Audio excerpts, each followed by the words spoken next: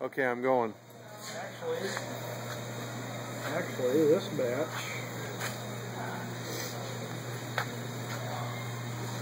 might have to wait till I set up the next batch.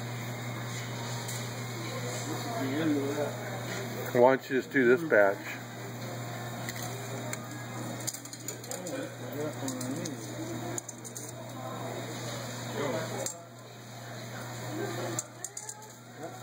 Is this good?